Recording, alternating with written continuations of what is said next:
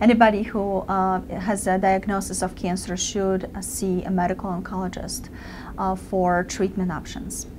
Um, we have a lot of treatment options for lung cancer.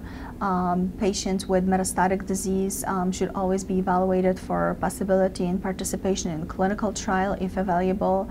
Uh, these are always the best options uh, simply because they offer additional uh, clinical trials offer additional uh, treatments in addition to a standard uh, chemotherapy. So we're not really taking away anything from the patient, we're just giving them extra uh, in addition to the standard therapy. Um, these days we personalize therapy for every patient.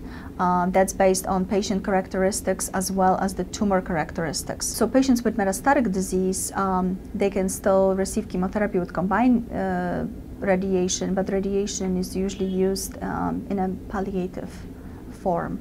So we can not cure patients with um, stage four or metastatic disease, uh, but we can certainly prolong their life and we can give them a much better quality of life with our treatments. Chemotherapy also plays a role as an adjuvant treatment or consolidation therapy after um, surgical resection of an early stage cancer.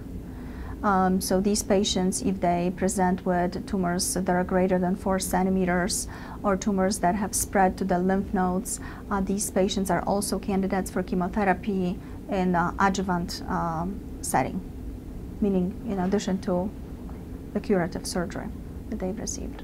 And stage three um, patients um, are treated um, with combined chemotherapy and radiation uh, together. Um, some of these patients um, have a very good response and they're candidates for surgery after the combined treatment with chemotherapy and radiation.